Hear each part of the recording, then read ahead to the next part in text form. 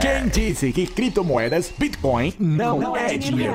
Pelica Money é dinheiro real rapidinho. Saca na lotérica ou transfira pro seu banco. Link embaixo, clica aí. Atenção, a terceira maior baleia de Bitcoin do mundo não resistiu à queda. Vamos entender exatamente o que aconteceu. Meu nome é Marcos Eduardo, sejam bem-vindos ao canal Dinheiro, seu canal favorito sobre mercado financeiro. E o primeiro link que estará na descrição é o da Binance, essa que é a maior corretora de criptomoedas do mundo. E usando nosso link para se cadastrar, você terá um total de 15% de desconto em todas as taxas de trade. Bem, e o segundo link é referente a um robô de operações que trabalha justamente com a API configurada na Binance e se isso te parece difícil de entender, acessa aí esse segundo link que você vai ver que é bem simples. Bem, meus amigos, o terceiro maior investidor de Bitcoin do mundo, a terceira maior carteira que, infelizmente ou felizmente para ele, é uma pessoa anônima, pois bem, esse mesmo não resistiu à forte queda do Bitcoin,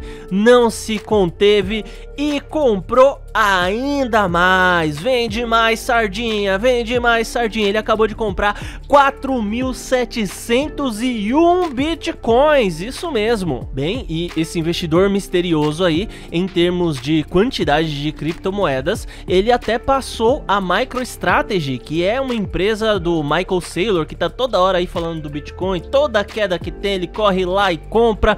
Pois bem, conseguiu passar até o Michael Saylor com a MicroStrategy. Isso assim, né? De repente, essa baleia ainda é dona de várias outras carteiras pequenas que a fariam, tecnicamente, mais rica ainda. Sem contar que a gente está olhando só o que esse investidor, essa baleia ou essa empresa misteriosa tem em Bitcoin. Fora o que ele vai ter aí em Cardano, Avalanche, Solana, quem sabe, né? Ah, mas essa é a maravilha das criptomoedas. Você pode ter uma carteira, você pode comprar, você pode vender, tudo vai ser auditado. Cada transação que você fizer estará registrado na rede para que qualquer pessoa possa validar Porém, não é obrigatório que você se identifique. Isso mesmo, as pessoas vão saber o do seu dinheiro, mas não saberão que você é o dono.